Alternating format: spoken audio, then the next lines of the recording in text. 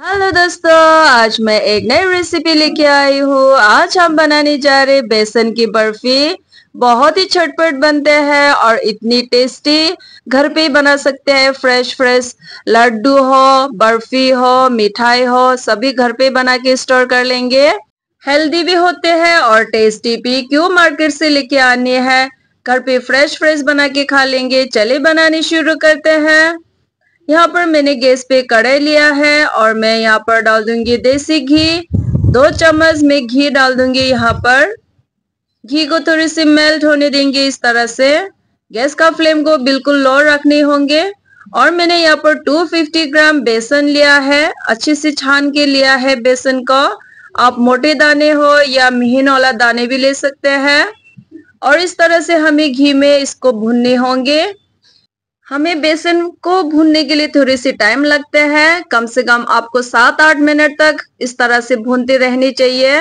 आपको बिल्कुल यहाँ से नहीं हिलने होंगे, इसको चलाते रहने होंगे, नहीं तो कहीं भी जल ना जाए, जलने से आपको फ्लेवर अच्छे नहीं आएँगे। इसी तरह से भूनते हुए हमें यहाँ पर अभी टाइम हो गया है तीन चार मिनट। और यहाँ पर थोड़ी सी घी डालने होंगे, क्योंकि ये जल्दी जल्दी शौक ले रही है बेसन। अभी मैं यहाँ पर और एक चम्मच घी डाल के इसको मिक्स कर लूँगी। ये देखिए, मैंने एक चम्मच घी डाल दिया है और इसी तरह से मिक्स करते हुए भूनते रहेंगे। अभी हो गया है पाँच मिनट। देखिए आपको टोटली हमारे ये आठ मिनट हो गई है और इतनी दानेदार फुली हुई से है बेसन। अभी इसको हम प्लेट पर शिफ्ट कर देंगे। ये देखिए, और इसी कड़े पे हमें यहाँ पर घी डालेंगे। मैंने यहाँ पर वन एंड हाफ़ घी डाली हुई है। इसको अच्छे से मिल्ट होने देंगे, गैस का फ्लेम को बिल्कुल लो रखेंगे। घी को इस तरह से मेल्ट होने के बाद में मैं यहाँ पर गुड़ यूज़ कर रही हूँ। मैं यहाँ पर गुड़ का यूज़ कर रही हूँ, क्योंकि हेल्दी बनानी है। हमें यहाँ पर, ये देख सकते हैं, मैंने इस तरह से गुड़ लिया है। इसी टाइप का गुड़ को मैंने यहाँ पर छोटी छोटी काट करके लिया है, जल्दी मेल्ट होने के लिए। हमें इसको बनाने के लिए, बर्फ़ी बनाने के लिए हमें कोई चाशनी नहीं बनानी है और इतनी कम चीज़ों में बन जाते हैं और इतनी छटपट भी बनते हैं। अब इसी तरह से चलाते हुए हमें इसको मेल्ट करनी होंगे घी में। यहाँ पर बिल्कुल पानी यूज़ नहीं होंगे। आपको घी कम ज़्यादा लग रहे तो आप ऐड भी कर सकते हैं। और इसी तरह से मेल्ट होने तक हमें गुड़ को पकाने होंगे और मैंने यहाँ पर थोड़ी सी खुशबू अच्छी आने के लिए इलायची पाउडर लिया है। और इसको भी यहाँ पर डाल के मिक्स कर लेंगे। आपको गुड़ ज़्यादा टाइम तक नहीं पकाने होंगे। नहीं तो टाइट हो जाते हैं तो हमें सिर्फ़ इसको यहाँ पर मेल्ट होने तक ही पकाएँगे। ये देख सकते हैं आप अच्छे से मेल्ट हो गई है। इसी तरह से हमें इसको मेल्ट होने तक पका लेंगे। उसके बाद में गैस का फ्लेम को ऑफ़ कर देंगे।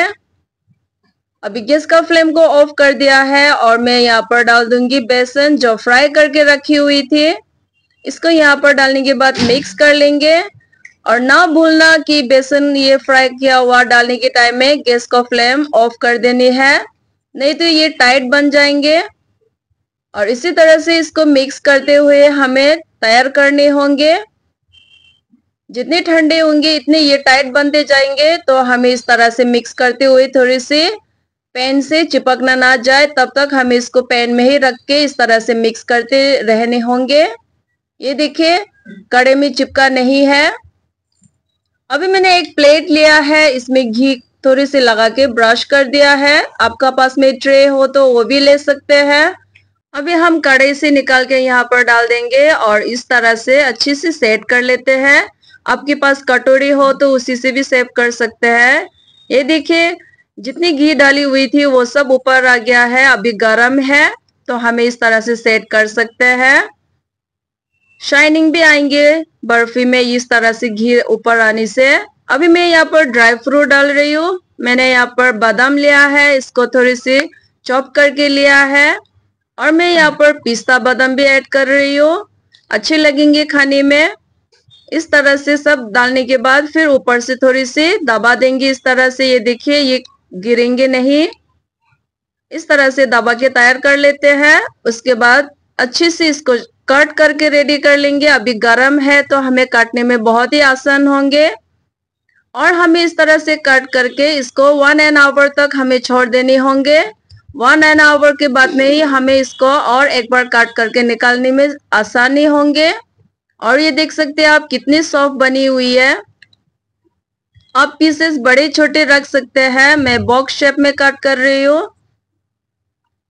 अभी से बहुत ही अच्छे लग रहे हैं। खुशबू भी बहुत बढ़िया आ रहे हैं। आपको मैं दिखा रही हूँ। ये देख सकते हैं आप, कितनी प्यारी लग रही है देखने में भी। और खाने में भी बहुत ही टेस्टी लगेंगे। जिसने भी मेरा ये वीडियो पे सब्सक्राइब किया है लाइक किया है, उसके लिए बहुत बहुत दिल से धन्यवाद।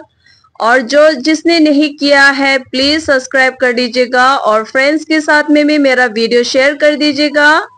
इसी तरह से नई नई वीडियो में लेके आती रहूँगी। आपका प्यार, आपका सपोर्ट हमेशा इसी तरह से बनाए रखेगा आप देख सकते हो, इतनी अच्छी सी पीसेस निकल रही है।